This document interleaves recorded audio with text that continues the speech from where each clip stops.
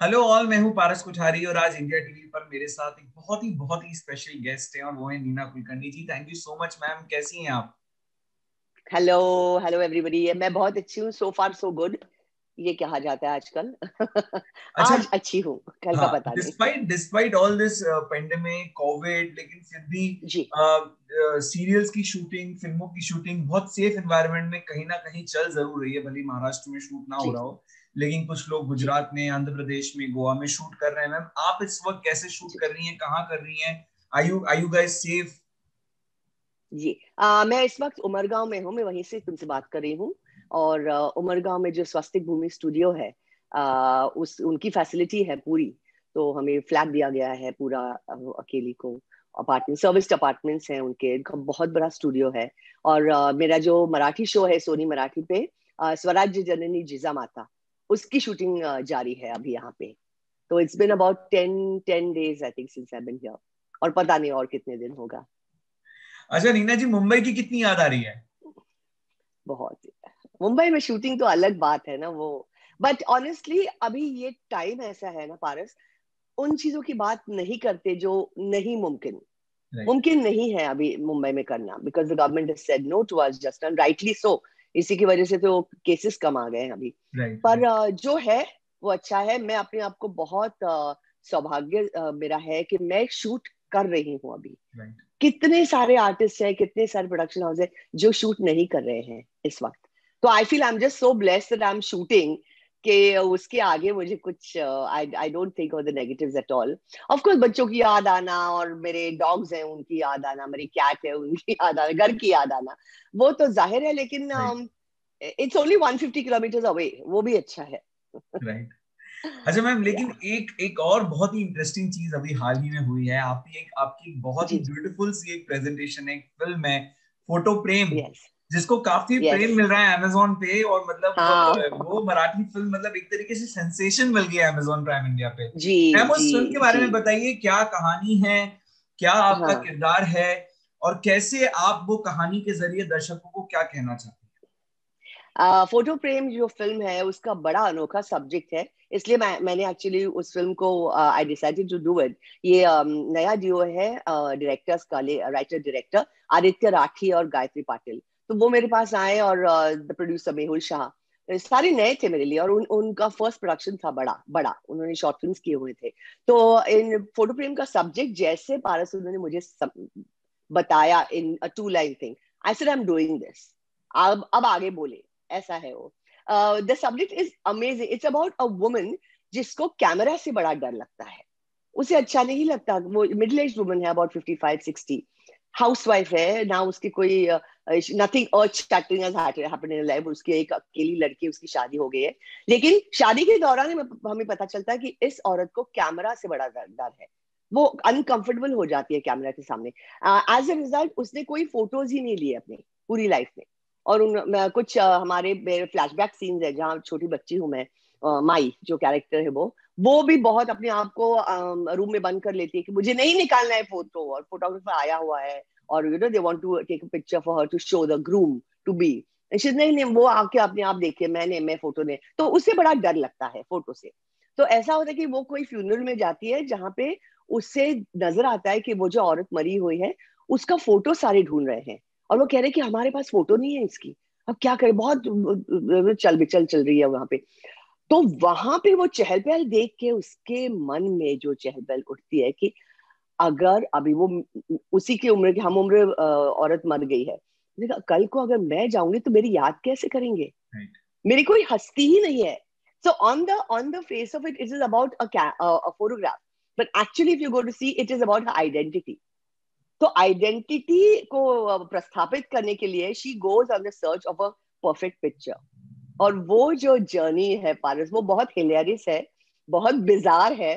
And at the same time it has depth because उसमें identity crisis जो इस औरत का है वो उससे बाहर निकलना चाहती है। या ident non identity actually crisis भी नहीं उसका। है ही नहीं उसकी कोई पहचान। You I must tell you जो कहानी आपने मुझे बहुत ही संक्षेप में बताई है मैं आपको हाँ, सच हाँ. बता रहा हूँ मेरे गूजबम्स खड़े हो गए seriously I I am having goosebumps right now इस तरीके की बहुत ही ब्यूटीफुल और इंटरेस्टिंग यूनिक कहानी। और ये बात बहुत यूनिक और हाँ, बहुत रिलेटेबल भी है। या हाँ. और ये बहुत कमेंडेबल बात है कि जब से ये ओटीटी प्लेटफॉर्म्स इंडिया में आए हैं और ये जिस तरीके का कंटेंट जनरेट कर रहे हैं जिससे फ़िल्म मेकर्स और एक्टर्स को एक नई तरीके की कहानी कहने का मौका मिल रहा है ये सच में बहुत इंटरेस्टिंग बात है। आपको क्या लगता है मैम ये ओटीटी प्लेटफॉर्म का जो पूरा एक नया दौर शुरू हुआ है ये कितना हेल्पफुल रहेगा फ़िल्म मेकर्स एक्टर्स के लिए नई कहानियाँ कहने के लिए? बहुत ज़्यादा ऑलरेडी हेल्पफुल रह चुका है और आगे भी रहेगा अंडर द सर्कमस्टेंसेस तो बहुत ज़्यादा। वेन जबकि थिएटर्स बंद हैं। एक्चुअली ये फ़िल्म हमने फीचर ये फीचर फ़िल्म है।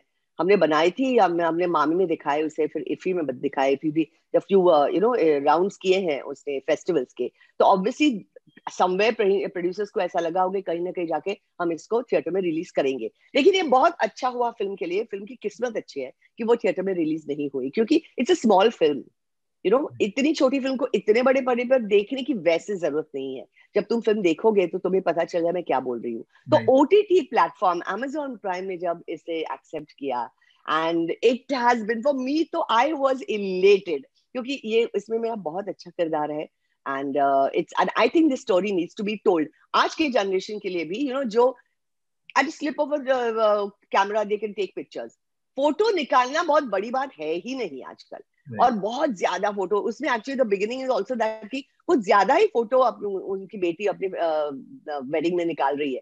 कुछ ज़्यादा ही over the top so all of us take over the top pictures you know और इसमें ऐसा तो it's a very good subject even for this generation to understand कि एक जमाना ऐसा रहा है जब you know there was nothing for you to really show yourself there तो स्पेशली आके फोटोग्राफ निकालते थे। तो I think the OTT platform is the perfect space for photo a film like photo Prem और उसको इतना सारा प्रेम एज वी सेड मिल रहा है। के हमारे पास मैसेजेस आए कुछ फैंस के हमारे पास मैसेजेस आए मिसेस अय्यर के ओह वंडरफुल पर का नेशनल अवार्ड नीना जी जीत रही है for photo Prem national award best actress कितनी उम्मीद है आपको नेशनल अवार्ड की? क्योंकि मतलब ये फ़िल्म बहुत इंटरेस्टिंग है किरदार बहुत ज़बरदस्त है और कहानी बहुत यूनिक है। तो कई लोगों ने कहा कि नीना जी को definitely national award for best actress के लिए कंसीडर किया अरे वाओ सो मैम आप क्या कहेंगी पारस मुझे मुझे नेशनल अवार्ड मिले ना मिले, मेरे फैंस ने जो कहा है, उसके लिए मुझे ऑलरेडी मिल चुका है। For me this is my national award कि ज़्यादा से ज़्यादा लोग देखें, उस फ़िल्म को सराहे, मेरे जो परफॉर्मेंस है, उसे अप्रिशिएट करे, और कुछ छोटा सा उसमें जो मैसेज हमने देने की कोशिश की वो लेके जाए घर पे। तो नेशनल अवार्ड मिले, वो तो अलग बात है, लेकिन अभी मेरे फैंस ने मुझे नेशनल अवार्ड दे दिया है, उसके लिए बहुत बहुत धन्यवाद। अच्छा Neena ji apart from photo प्रेम आप जीजा माता सोल्व कर रही हैं एक मराठी yes, है। But yes. फैंस ये जो वाईचेम फैंस थे जो मिसेस अय्यर फैंस थे जो इशरा फैंस थे वो ये हाँ वापस चाहते हैं कि नीना जी वापस हिंदी हिंदी जो जगत है हिंदी एंटरटेनमेंट जगत हाँ, उसमें वापस कब आ रही हैं? कोई प्लान मैम मैं तो आऊँगी। नहीं ऐसा है ही नहीं पारस की मैं हिंदी में करना नहीं चाहती। जो मेरे पास आए जो अभी जो फ़िल्म आई या जो जो अभी ये सीरियल है जिजा माता जिसमें मैं टाइटल रोल कर रही हूँ जिजा माता का तो इसलिए मैंने वो ले लिया। बट मैं ऐसे भेदभाव नहीं करती हिंदी और मराठी में। हालाँकि मैंने हिंदी में काम ज़्यादा किया है जी, जी. और मिसेस अय्यर ने जो मुझे दिया है भर भर के प्यार भर भर के प्यार आज हम बात कर रहे हैं वो मिसेस अय्यर की बदौलत है। के फ़ोटो प्रेम के लोग आ, आके देखते हैं फैंस मेरे। आ, लेकिन अगर हिंदी कुछ अच्छा प्रोजेक्ट आएगा तो I will definitely do it उसमें तो कोई आई मीन देयर नो संदेह है ही नहीं। तो एक्चुअली इस गए साल तो हमारा हमने घर पे काटा था सब लोगों ने। और जबकि ये शुरू हो गया तो जिजा माता आ गया। तो उसके बाद भी एक्चुअली मेरे दो तीन शोज़ आए थे। कुछ ज़्यादा खास नहीं थे शायद मैं ले, लेती भी नहीं लेकिन आई वॉज़ ऑलरेडी बिज़ी तो है अभी पूरी ज़िंदगी पड़ी है। मैं तो रिटायर होने वाली हूँ नहीं। और बहुत सारे रोल्स आएँगे। And I will definitely want to work अच्छा रोल है ना मैं अच्छे रोल की um, हमेशा मेरी कोशिश रहती है कि उससे ढूंढे। तो अगर वो हिंदी में हो या मराठी में हो कोई बड़ी it doesn't make a difference अच्छा एक सवाल आपकी कोस्टार के बारे में ज़रूर पूछना चाहता हूँ मैं। दिव्यांका त्रिपाठी दहिया जा रही है खतरों के खिलाड़ी में। फियर फैक्टर कर रही है वो। दे दीजिए मैम यस अरे मैं आपको बताऊँ मैं मुझे जब पता चला ना मुझे जब हाँ. पता चला मैं बड़ा शौक हो गया दिव्यांका खतरों के खिलाड़ी कर रही है कैसे करेगी चलिए डांस शो तो ठीक है। एक्टिंग भी बढ़िया है लेकिन दिव्यांका नहीं नहीं लेट मी टेल यू नहीं let me tell you a secret मैं जानती हूँ आज मदर्स डे पे मैं अपनी बेटी इशिता को बोल रही हूँ मिसेस अय्यर बोल रही है ऐसा समझना। But Divyanka is an NCC cadet you know उसने वो बहुत वो बहुत फियरलेस है। यह मोहब्बत है कि सारे स्टंट्स दिव्यांका ने दिव्यांका ने खुद किए हैं। सारे जो वो क्रोकोडाइल वाला स्टंट था या फिर कहीं से कूदना था या फिर मिट्टी में कुछ घसेटना था अपने आप को वो सारे स्टंट दिव्यांका अकेली कर रही थी अपने आप। She never had a double so Divyanka basically उसमें बहुत बहुत ग्रेट है you know so she is the perfect candidate for खतरों की खिलाड़ी।